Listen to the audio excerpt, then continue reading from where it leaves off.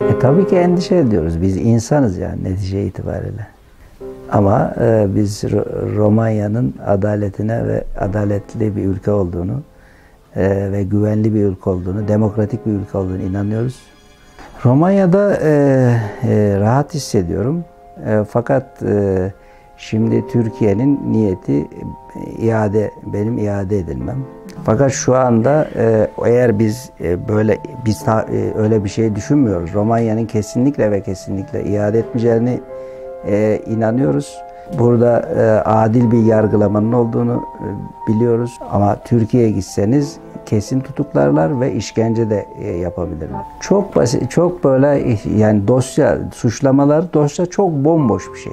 Ben dosyayı burada savcı bana okuttu. E, dedikleri şey e, bir e, Türkiye'deki Bank Asya var. Bu e, Bank Asya'yı e, başta açanlar o günün başbakanı şu andaki evet başbakan bakanlar açtılar ve bu e, açılışında Erdoğan'ın kendisi de vardı. E, ve banka legaldi yani açılan banka, banka legal. legal. Evet. İddia iddiada o var yani bir, bir bankada hesabım varmış onun için ben e, e, yargılanıyorum yani veya yani bir e, internette bir uygulama var işte o uygulama e, WhatsApp gibi, Viber gibi bir uygulama. E, ama o uygulamayı e, işte hizmet hareketi mensupları kullanıyor diye ondan da yargılanıyor. Bu zaten bugün mahkemede de söyledim. Bu çok absürt ve gülünç bir iddianın. İçi bomboş bir şey. Eğer Türkiye'de adalet olsa, adalet hukuk işlese biz e, e, niye kendi memleketimize niye gitmeyelim?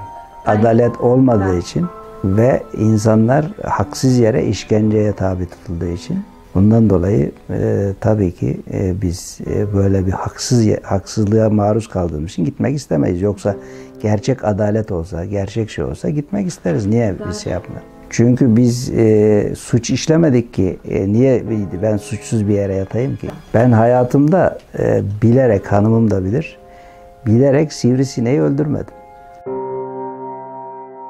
Ne, ne olur ee, bir kere Allah korusun ben kesin tutuklanırım yani. Ee, ailem parçalanır. Ailem Türkiye'ye gitmekte gidemez. Onlar da korkar. Ee, çocuklarım ne olacak? E, onları burada kim bakacak? E, gitse onlar da aynı tehlikeyle karşı karşıya. Benim arkamdan gitsin.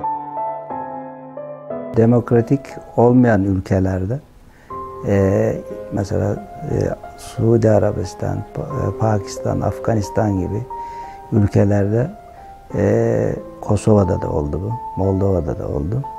Maalesef oralarda iade daha kolay oldu. Ama demokratiğin, demokrasinin yaşandığı ülkelerde Romanya gibi ben iadenin olacağını tahmin etmiyorum.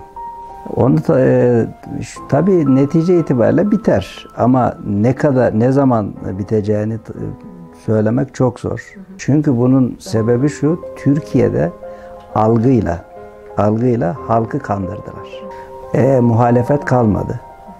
Yani mesela Türkiye'de e, hiçbir e, televizyon, gazete, muhalif, bütün televizyonlar, bütün gazeteler kapatıldı. Tek taraflı e, propaganda dinliyor.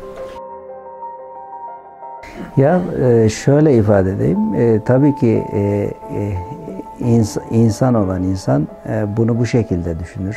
Kimsenin haksızlığın olmamasını ister. E biz de haksızlık haksızlığa maruz kalmışız. Bu konuda da insanlar bizim yanımızda teşekkür ederiz yani.